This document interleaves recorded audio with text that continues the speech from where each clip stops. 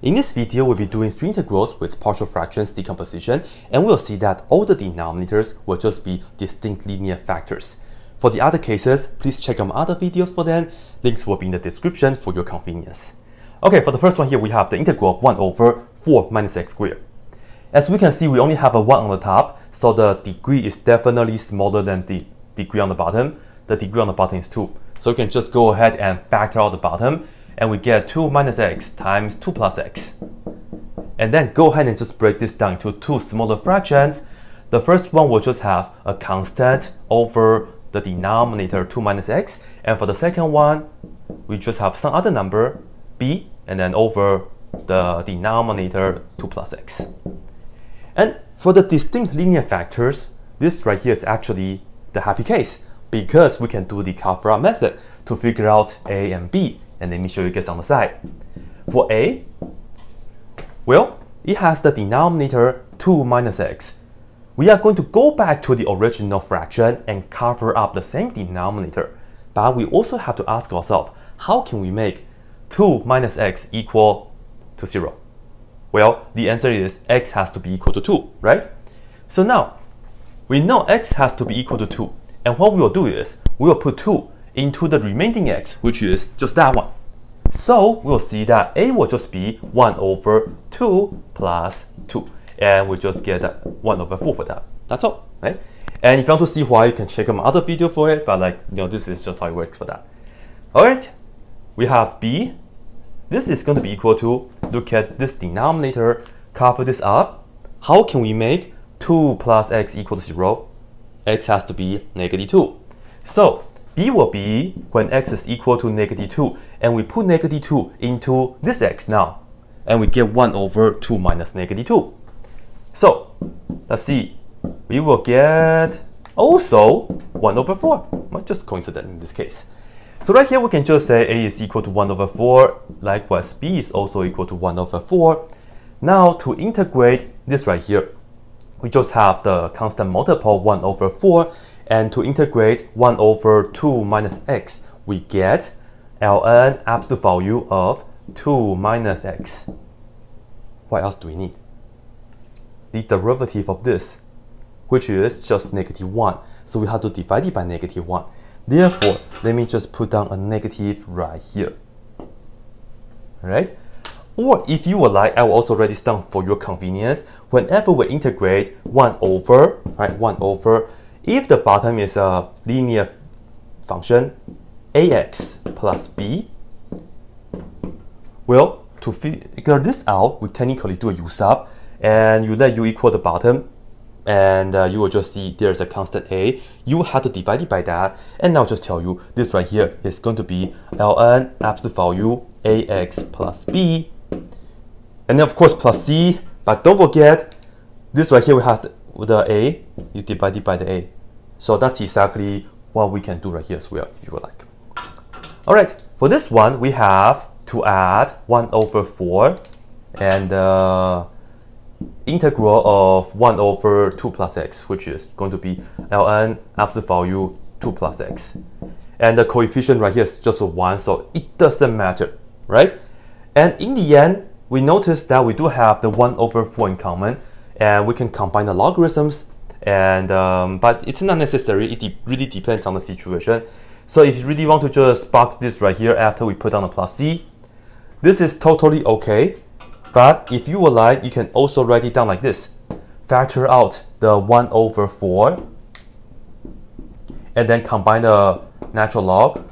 And you see that this right here has a negative right? This is the subtracting negative. So this right here will go on to the bottom so we have the 2 minus x. And this right here is positive, so it will go on to the top, so 2 plus x. All right, and then plus c. Yeah, so that's it.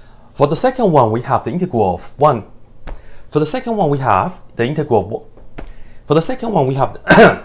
For the second one, we have the integral of 5x minus 13 over 2x squared plus 5x minus 3. All right, the degree on the top is 1, the degree on the bottom is 2, so we don't need to do long division. But we do have to factor this out, and uh, perhaps I'll just show you guys how you can possibly factor a trinomial like that. and uh, they'll just put it on the side for you guys. I call this the tic-tac-toe method. So just go ahead and write that down and then just draw the tic-tac-toe boxes like this. And then you ask yourself what times 1 is equal to 2x squared, which is 2x and x. And what times 4 give you negative 3? Well, I'm going to use positive 3 and negative 1. And I will put positive 3 here and negative 1 right here. How do we know this is the correct order? I'll just do this times this. That will give us 6x.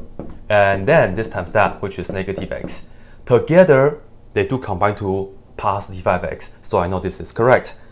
So from here though, this is just the check. And now to write down the answer, you will just put down 2x minus 1 and then times x plus 3. So if you don't have a favorite way to factor a trinomial, this is my favorite way I can share with you guys. But anyway, let's just factor whichever way that you want. And then the most important thing is that, well, break this down into two smaller fractions. The first one will have this for the denominator, and we just write it as a over 2x minus 1. And then the second one is b over x plus 3. Alright, and now let's go ahead and find out the a and b, just like what we did earlier. To figure out a, well, the denominator here is 2x minus 1, so we go back to the original fraction, cover up the same denominator, but we have to ask ourselves, how can we make 2x minus 1 equal to 0? The answer is x is equal to 1 half. So we will have to be using this number, and we'll just have to plug in 1 half into this x and also that x, right? Because this is covered already, so we don't have to do that. So go ahead and just do 5 times 1 half and then minus 13 over 1 half and then plus 3.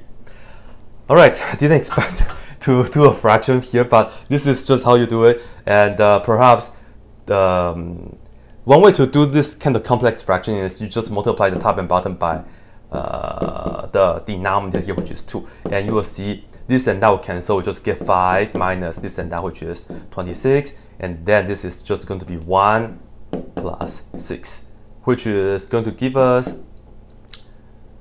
negative 25. And then, no, negative 21 on the top. That's embarrassing. This minus that is negative 21 over 7, which is negative 3. Alright, so A is equal to negative 3 right here. And now for b, let's see. b is going to be equal to, look at this right here, cover the same denominator. Here we have x plus 3, make it equal to 0. x will be negative 3. Right? Not because of this, because we make x, uh, we make x plus 3 equal 0. So x has to be negative 3. And then you put negative 3 into the remaining x's here and there. And that's just worked out. So we have 5 times negative 3 and then minus 13 over 2 times negative 3 minus 1. Alright, so this right here is going to be negative 15 minus 13, which is negative 28, over this is going to be negative 6 minus 1, which is negative 7. So altogether we have positive 4. Yeah, so you see, A is negative 3 and b is equal to 4. They are different, right? Okay, so once you are done with this, this right here is just pretty much use this integral formula for that. We have negative 3, right? It's a constant multiple, write it down first. Integrating 1 over 2x minus 1 is ln, absolute value, 2x minus 1. And what else do we need?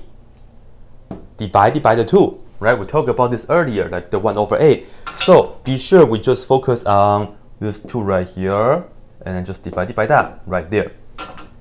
All right, and then for the second one, we just add 4, and then ln absolute value of that, x plus 3, and that's just 1, so that's it, right? Plus c, yeah. I told you this is the happy case for that. For number 3, you have the integral of 3x minus 5 over three distinct linear factors on the bottom. We can just do the same thing that what we did earlier. Yeah. For number 3, we have the integral of 3x minus 5 over 3 distinct linear factors. And the good news is that we can do exactly what we did earlier, but we just had to set up three little fractions. So we are going to get a over this for the denominator, and then b over the second one, and then c over the third one. And the good news is we can still use the cover method to figure out the ABC values. So let's go ahead and do that right here. A is going to be, well, we cover up this denominator, and how can we make x minus 1 0? x has to be 1, right? So we just say x is equal to 1, and we are going to plug it into this x, this x, and x. So we have 3 times 1 minus 5 over 1 minus 3 times 1 minus 5. And now, on the top just worked out, we get 3 minus 5, which is negative 2. This is negative 2 times negative 4, which is positive 8, and reduce that, we get negative 1 over 4. So that's the A value here. Now, for the b value, this is the case when x is equal to 3, right? Because that's how we can make x minus 3 equal to 0. Plugging 3 into this x, this x, and that x, because we have to cover that up. So we are going to get 3 times 3 minus 5 over 3 minus 1 times 3 minus 5. And lastly, for c, well, that's the case when x is equal to 5. So we have to put in 5 into here, here, and here, right? Because we covered this up already. Okay, so we have 3 times 5 minus 5 over 5 minus 1, and then 5 minus 3. Okay. 15 minus 5, which is 10, over 4 times 2, which is 8, and reduce by 2, which is 5 over 4. So C is equal to 5 over 4. So that's how you do the partial fractions with the cover up, even when you have 3 or 4 or 5 distinct linear factors. And of course, we just have to integrate this now. So the first thing is just going to be the constant multiple, negative 1 over 4 times the ln of absolute value of x minus 1, and the coefficient here is 1. So divided by 1 doesn't matter. Next, and then just ln, absolute value x minus 3. And lastly, we add 5 over 4 ln absolute value x minus 5. Yep, that's it. And then perhaps we'll put on a plus c here. And then this is it, right? So watch out my so be sure you watch my next video because I'll show you what if we have quadratic factors on the bottom. And then we also talk about what if we have repeated factors, right? So that's it for now.